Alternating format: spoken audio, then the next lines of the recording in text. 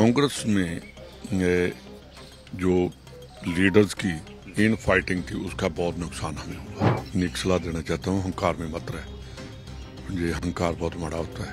अब कांग्रेस में वो ही रहे हैं, जो आपने कहा कि जो कांग्रेस को प्यार करने वाले, कांग्रेस को सिंसेरिटी के जो अहदों की लालसा ना रखने वाले, वो अब कांग्रेस में पंजाब कांग्रेस की एक नई लिस्ट आई है कैंडिडेट्स की, जिसमें पंजाब कांग्रेस प्रेसिडेंट तो लड़ ही रहे हैं, साथ में ex deputy chief minister Sukhjinder Randhawa भी जो है गुरदासपुर, जो इनकी इंसेस्ट्रल सीट है, वहाँ से कॉन्टेस्ट कर रहे हैं। मैं पार्लियामेंट इस बार। हमारे साथ रंधावा रंधावा साहब एक्स डिप्टी सीएम रहे आप, और ये तय था कि आप लड़ेंगे कि पार्टी ने बोला लड़े? नहीं, देखिए बसी जी, आप मेरे को बहुत पुराने जानते हैं तो मैं कभी भी एम्बिशियस नहीं हुआ। ओवर एम्बिशियस तो मैं कभी हुआ ही नहीं। तो मेरे को आपको पता कि राजस्थान डेढ़ साल में रहा और छब्बीस तरीक को मैं पच्चीस को वापस आया था वहाँ की पार्लियामेंट की इलेक्शन के बाद। तो सताईस को मेरे को कॉल आई कि आप गुरदासपुर से इलेक्शन लड़ोगे। उससे पहले मेरा कोई मूड नहीं था। अगर मूड होता तो मैंने पहली लिस्ट में मेरा नाम आ जाना था।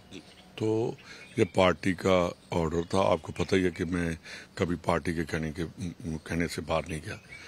तो ये एक ऑनर भी होता है कि पार्टी विश्वास करे कि मेरा जो वर्कर है मेरा लीडर है इसको हम क्या चाहते हैं कहाँ चाहते हैं तो वो तो पार्टी का ऑर्डर मानना पड़ता है। आप सीनियर नेता हैं कांग्रेस के और कांग्रेस ने इस बार सर बिग गन्स को उतारा है आपको उतारा है चरणजीत चन्नी है राजा वड़िंग हैं सुखपाल खैरा एक मैसेज देना चाहती है पार्टी? नहीं देखिए पार्लियामेंट जो है मेरे ख्याल के कांग्रेस पार्टी बहुत ठीक और सोच समझ कर डिसीज़न ले रही है।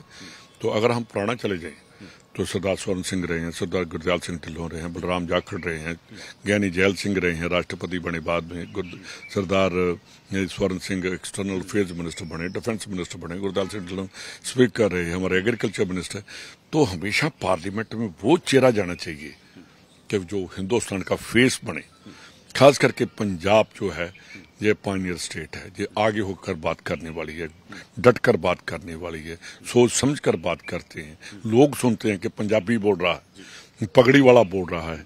तो वहाँ जो किया है ठीक है पीछे हमने कैंडिडेट सो दिए वो भी ठीक थे पर ए, हम अगर अकाली दल की बात करें कहाँ सरदार गुरचंद सिंह टौरा हरचंद सिंह लोंगोवाल ऐसे सुरजीत सिंह बरनाला कितने बड़े बड़े मोहन सिंह तोड़ तो इन इतने बड़े लीडरों ने इलेक्शन लड़ी तो वहाँ तो पार्लियामेंट में देश के निर्माता बैठते हैं कि जिन्होंने देश को बनाना है।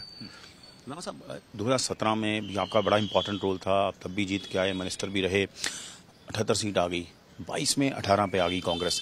ये लोकसभा इलेक्शन आपको एक चांस लगता है कांग्रेस का रिवाइवल के लिए पंजाब में? देखिए उस टाइम हम बैठे हुए आपसे बात कर रहे थे कि जब कैप्टन अमरिंदर सिंह बने तो अड़तालीस हज़ार वोटों पर जीत कर आए।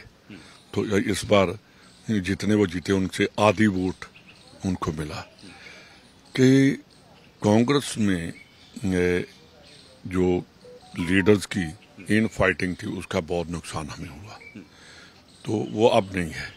जिन्होंने कांग्रेस को नुकसान किया, साथ बैठकर किया, मेरे को आज भी याद है कभी आपका इंटरव्यू हो राहुल गांधी के साथ मौका बने तो जब वो पाड़ा की इलेक्शन में आए गुरदासपुर असेंबली में मेरे को कहने लगे कैसा रहेगा?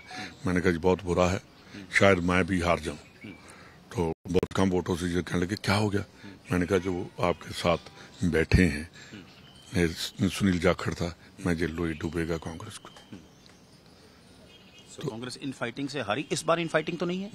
जो जो जो जो, जो हमारे साथ धोखा कर रहे थे वो तो सभी बाहर चले गए अब इन फाइटिंग क्या है? वो इन फाइटिंग खत्म। अब कांग्रेस में वो ही रहे हैं जो आपने कहा कि जो कांग्रेस को प्यार करने वाले कांग्रेस को सिंसेरिटी के जो अहदों की लालसा ना रखने वाले वो अब कांग्रेस में बैठे साहब इस बार आम आदमी पार्टी की सरकार है उनको बानवे सीट आई है और भगवंत मान कहते हैं तेरह ज़ीरो होगा चाहे जितनी मर्ज़ी बिग गन्स हैं बसी साहब आपने देखा होगा 97 में अकाली दल की 93 थी। तिरानवे थी इनसे एक ज़्यादा थी। तो आपने देखा कि 2002 में लोगों ने मांझ का रख दिया। वो कितने पर रह गए थे? अब कितने हैं? दो रह गए हैं। तो मैं भगवंत मान को एक ना, निक सलाह देना चाहता हूँ, हंकार में मत रहे। ये हंकार बहुत बड़ा होता है। जो एक अहंकार है, दूसरा इस चीफ मिनिस्टर के सर को चढ़ गया है अहंकार मुझे बहुत बुरी बुरा होता है। पंजाबी हंकारी को कभी नहीं मानते और ना ही वो इतने हंकारी लोग लोग को पसंद ही करते। हैं तो आप राजस्थान के भी इंचार्ज हैं तो वहाँ बीजेपी का भी हर जगह से स्लोगन है 400 पार का यहाँ तेरह ज़ीरो का है। नहीं मैं नहीं आपके साथ। आप तो बीजेपी कहने नहीं असीम जी अब तो बीजेपी कहने से ही हटकी है 400 पार कहती ही नहीं है। अब तो वो भी कहने लगे हम संविधान चेंज नहीं करेंगे। किसने कहा था कि चेंज करो? तो ऐसा है, मैं आपको बता दूँ।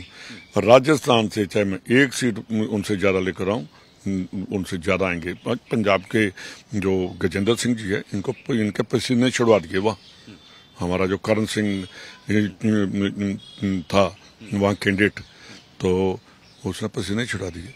आप पंजाब में बैठे हैं वो पंजाब का प्रभारी है, मैं राजस्थान का प्रभारी हूँ, अब दोनों का मैच होगा और करेंगे कि अगर मैं वहाँ चैलेंज देकर आया हूँ, उसका चैलेंज भी जहाँ एक्सेप्ट करूँगा